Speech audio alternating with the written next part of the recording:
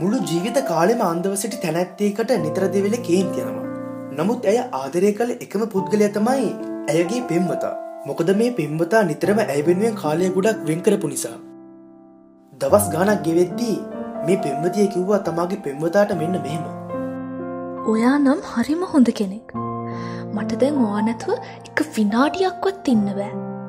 මගේ මුළු ජීවිතේම ඔයා වෙලා.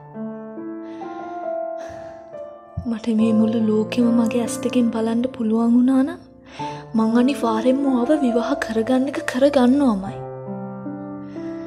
මංවාව සදහටම මගේ කරගන්නවා. මේ ඇත්තමයි. කාලය කෙමෙන් කෙමෙන් ගත වුණා.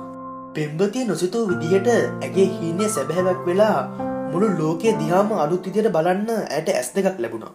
හැබැයි ඒ ඇස් දෙක කාගෙද කියලා කියන්නවත් ඇය දැනන් හිටිය නෑ. නමුත් ඒ ඇස් දෙක මගේ කියලා කියන්නවත් ඒ දුන්න කරට අවශ්‍යතාවයක් තිබුණෙත් නෑ.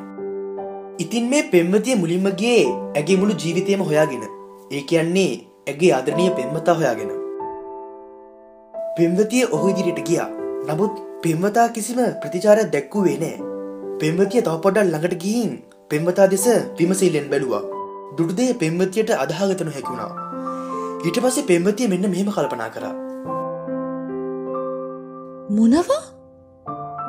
මෙයා ගැස් දෙකම පේන්නේ නෑනේ. මේ වගේ එක්කෙනෙක් එක්ක මං කොහොමද ජීවත් වෙන්නේ?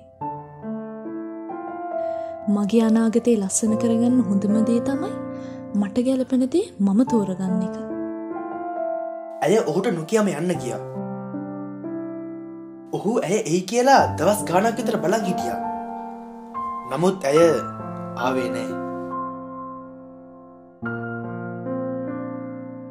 නමුත් ඔබ දන්නවද මේ කතාවේ මම ඔබට නොකිව රහසක් තිබුණා. ඒ රහස මම දැන් හෙළි කරන්නම්.